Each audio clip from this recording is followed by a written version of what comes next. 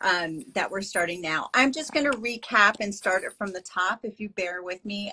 Hey, again, I'm Alex Beattie, divorce prep coach, aka the divorce planner.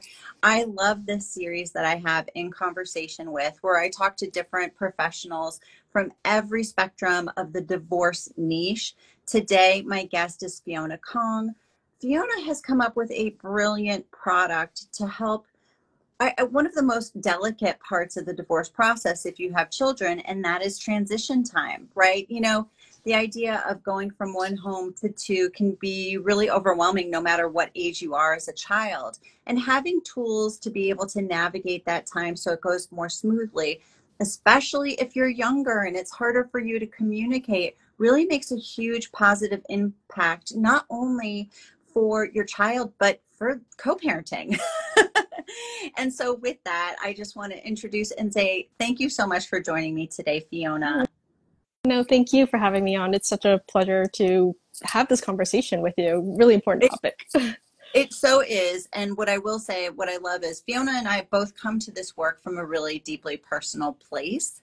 Um, and I find when I connect with other people in the divorce niche who have actually experienced it, and then, you know, you had this light bulb moment of creating this wonderful product, and I did the same thing, right, with the divorce planner. We've walked in your shoes as well as gotten a lot of mileage as professionals. So I'm going to go through, I'm going to ask Fiona a couple of questions, but if you have a question about divorce, about transition, about any tips you're looking for, helping make it easier with your kids, please drop it in and we'll get to we'll get to them after this conversation, which will last about 20 minutes.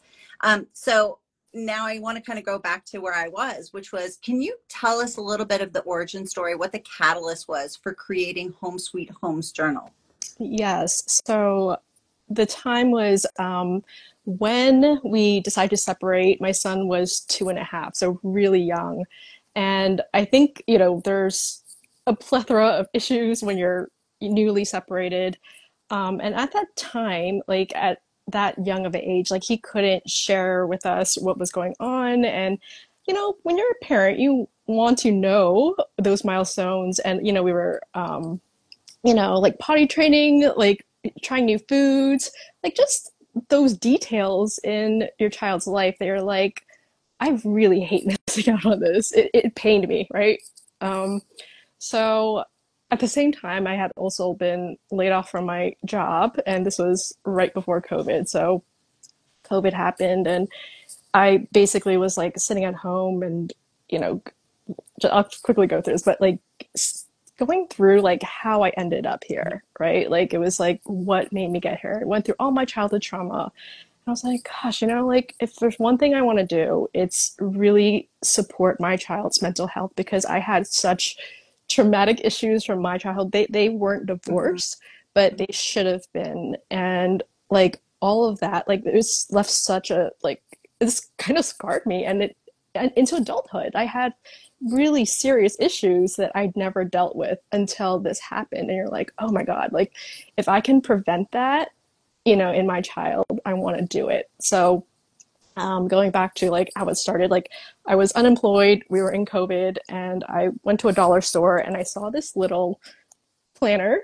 It was, it was like $2 at the dollar store. And I was like, let me just like write what happened at our house. Like it was like just a very, there's not a lot of space, but having some information about your child's life, mm-hmm. about, you know, as I said, we were potty training, what he was eating was just really useful for us. And um, by the time I ended up like starting the journal, like, because I was like, there's nothing out there for this young age of kids who don't have can't use electronics right like um like and they can't communicate what's going on so they need a tool to help them um so I was like, all right, when I got this back and I was like able to read about my son's life, I was like, oh, this is wonderful. Like, I love it. So I started incorporating these other things where I'm like, okay, how does he feel today? Like, that was a big portion of it. Um, just understanding what his experience was.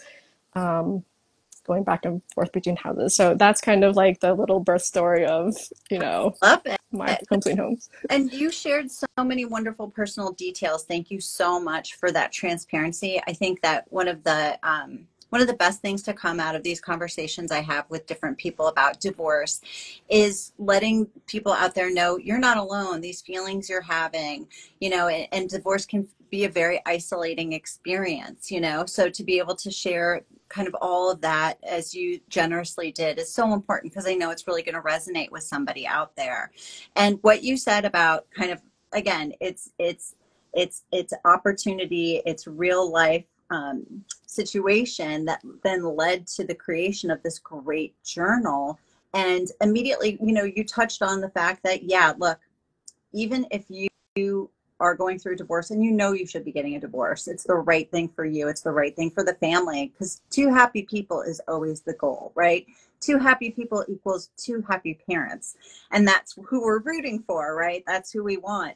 So being able to kind of like turn something that is hard, even in the most kind of like secure positions, look, when you're not spending time with your kid, it kind of sucks at the beginning. It really is hard. And I think it's absolutely brilliant and so simple what you did to be able to share this. And it doesn't matter necessarily what your level of communication is with your co parent, because this is really about the kid. Um, and it's wonderful to do in your home when you have the child and then to receive it when that kid comes back to you. Yeah, it brings an element of cohesiveness for everyone. And I think there's so much, it feels so disjointed when you're like, okay, your half, your half of your life is there, but over here, these are the things we do. And I'm like, but I want to know about your other half of the life. And I, that's uh, so important to, um, you know, when you're a parent, you, to have that big, bigger picture. Yeah, I think that's wonderful. And I, I love that the Home Sweet Homes journal also is a, a very tactile experience. So if you're dealing with younger kids, it's kind of lining up with where they are. Where they are could be in drawing a picture, where they are could be in clipping out and pasting something, right? And then you're like, oh, well, why is this here? Which starts a conversation and it allows them to communicate maybe beyond what they, the skill set they have even yet. Definitely. And, you know, just that um, element of circling the faces, because that was a huge part of it. Like, so just for the uh, listeners here, um, there is a daily feelings exercise for each day. It's a, it's a journal that has space for you can write in every single day. And every single day has today I am with, and it has where you write in whatever parent's home. Um, and then we have under under that there's five faces, so how they feel. Um, I just wanted to get my son thinking about, you know, was he upset today? Was he sad? Was he frustrated? Was he happy to like very basic and it's like any child can do that and then you add in the vocabulary right to say like i was upset today because you know like so i think it's just getting like starting from like square one but like mm-hmm. slowly building on elements so your child can like communicate these things to you um, because you can't help them if you don't know what's wrong.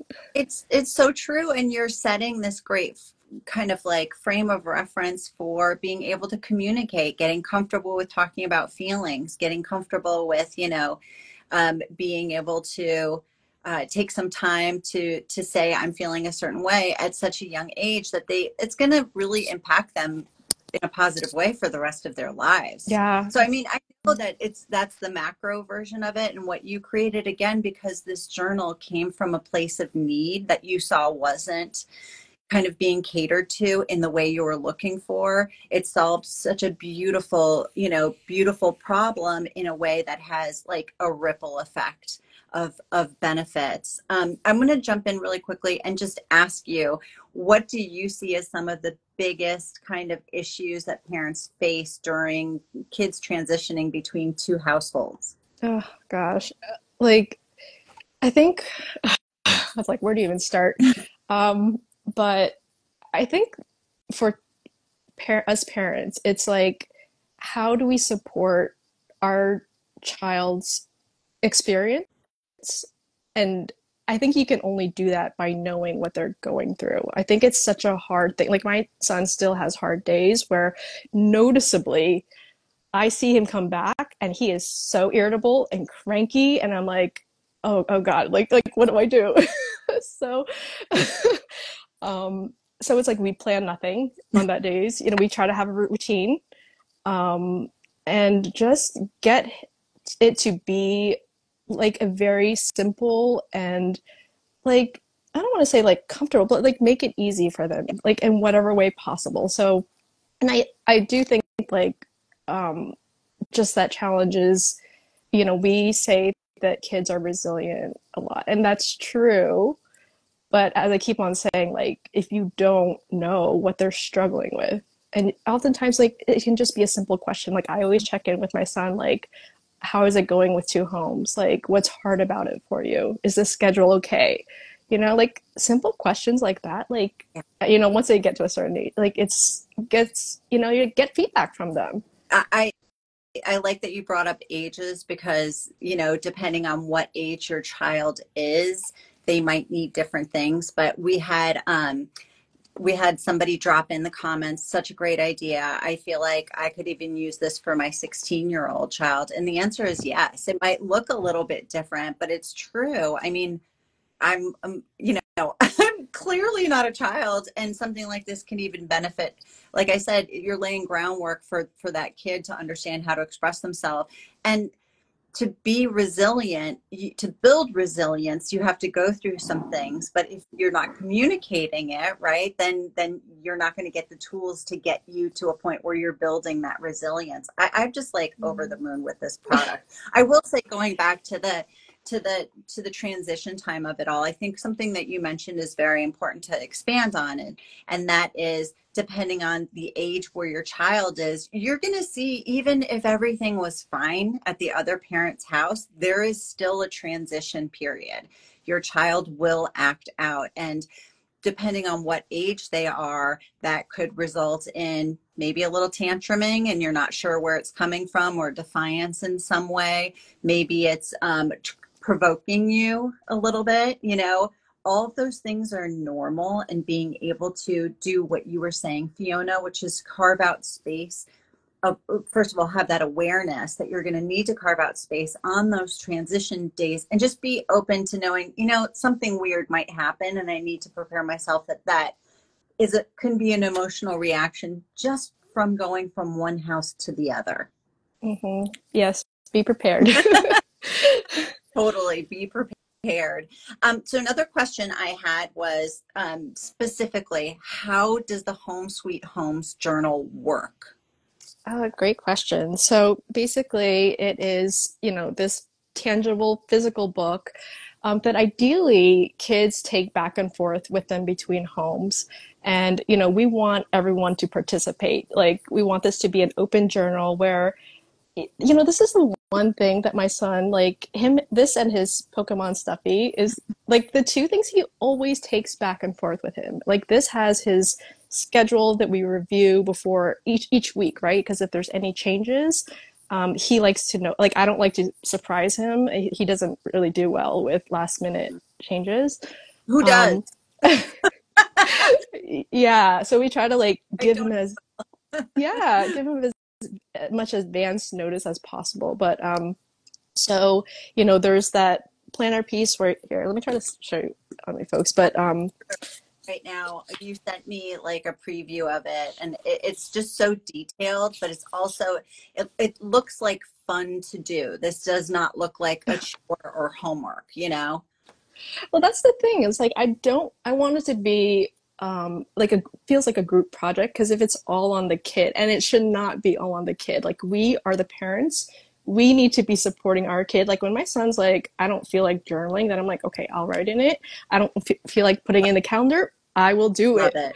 um and i was like but he's gonna get there right? He's eventually when he's like in his teenage years he's gonna have his own you know by himself completely. Yep. and i'm like this is prepping him for that um, but for right now, I'm like, do it with your child. Please do it with your child because it's not on them. Like they're kind of, you know, they're here in this situation and we need to support them. So basically, a month starts off with like um, an affirmation. So this was our last year's like, I can do hard things. Yeah. Um, there's like a child and parent activity that reinforces the affirmation and then a monthly calendar.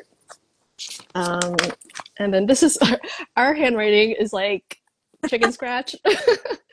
Um, but basically, you know, we write in like what happens, and um, here's where it says who he's with, and um, let's see the uh, how he's feeling. So, so you could see like Papa, Mom, Mom. It's Um, so beautifully laid out and detailed, but it doesn't feel overwhelming. Like I'm looking at this page rules keep me safe and teach me how to be responsible. These are rules i follow at both my homes so there's no confusion and then that you're able to list them or you do that with your child. I mean there's so much beautiful thought laid out that this feels fun and i do love that it's tactile. It's something that they're taking from one place to another as opposed to an app because um, it's just you have more opportunity to actually I, I can see it in the example you showed me your kid is more creative like i see crayon in there i see stickers in there you know what i mean it really lets their imagination flourish Yeah, I mean, really, and it's people are like, "Oh, it's a blank journal. Like, what do I even write about?" And I was like, "So we generally like when he was younger, we just wrote about our son's day, and I have a lot of journal ideas. But um, now that my son's older, he's almost eight, we do a gratitude entry. Um, I write a note to him every Friday. Like, usually nothing happens. Like, it's a regular day at school, and he doesn't feel like journaling, so I write a note to him.